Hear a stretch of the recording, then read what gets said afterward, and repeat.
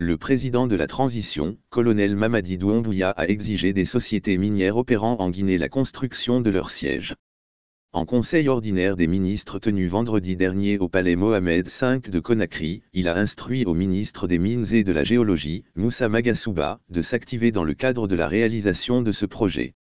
Le président de la transition a donné des consignes aux patrons des mines de prendre toutes les dispositions afin que les compagnies minières construisent leur siège en République de Guinée, conformément à leurs engagements et leurs conventions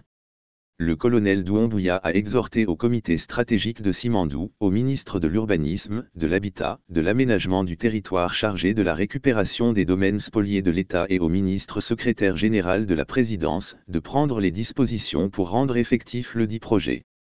Dans le cadre du suivi des instructions, le chef de l'État a rappelé avoir instruit au ministre des Mines de prendre toutes les dispositions afin que les compagnies minières construisent leur siège en République de Guinée, conformément à leurs engagements et leurs conventions. Dans la même lancée, le président de la République a mentionné que le projet Simandou doit contribuer à matérialiser l'effectivité de cette instruction. Aussitôt, il a instruit le président du comité stratégique de Simandou, le ministre de l'Urbanisme, de l'Habitat, de l'Aménagement du territoire chargé de la récupération des domaines spoliés de l'État et le ministre secrétaire général de la présidence, de prendre les dispositions pour, dans un premier temps, accentuer les efforts afin de rendre effectif la construction du siège de la Compagnie du Trans guinéen, lit-on dans le compte-rendu du Conseil des ministres.